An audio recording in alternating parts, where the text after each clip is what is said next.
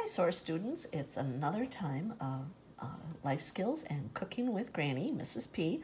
So today we're going to do a no-bake recipe that is really kind of fun, um, especially with the nice weather. This is going to be a nice treat for you. I'm going to start with a mini muffin pan. These are really small uh, mini muffins. And the only liners I had were Halloween ones, so I don't think the liners really matter, but I'm gonna, I put a bunch of liners in. I have about a, what I consider a heaping cup. It's about a cup and a quarter. I use Nilla wafer crumbs. You can use graham cracker. You can use um, Chex cereal. Whatever you have on hand that's a little on the sweet side. To that, I've melted about a tablespoon and a half of butter. So I'm going to pour that in there. And then this time I want this to be more than just barely dampened. I want it fairly moist because I want it to hold together. I'm not baking this. This is a no-bake recipe, remember. So the butter is going to hold the crumbs together in the bottom of my pans. Next thing I'm going to do is just spoon a little bit in. Maybe a half a teaspoon is all you need in each one. Once they're filled, then I will press them down and we'll move on. The next step, once I have the crumbs in my pan, and I will probably end up filling the entire pan by the time I'm done, but I just wanted to start with a few. I have two different flavors of yogurt, and it doesn't matter. Use whatever yogurt. You can use Greek yogurt, you can use regular yogurt. Um, I usually get the light, so that's what I have um, I chose the red raspberry and a key lime pie flavored yogurt because that's what I had in my refrigerator. So I'm going to take and I'm going to do just a spoonful of raspberry and then and then I'm going to top it with about a teaspoon, a little less than a teaspoon of the lime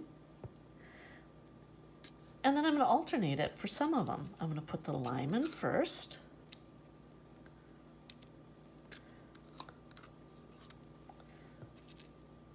And then top it with the raspberry.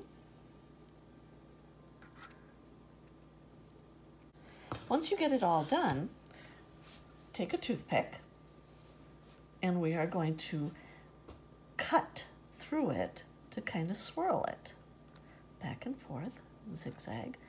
And you can't see much on top of what's going on, but that takes that top color and puts it down, cuts it down into the bottom color. Okay, you don't want to scrape too far down because you don't want to um, end up with crumbs all the way through.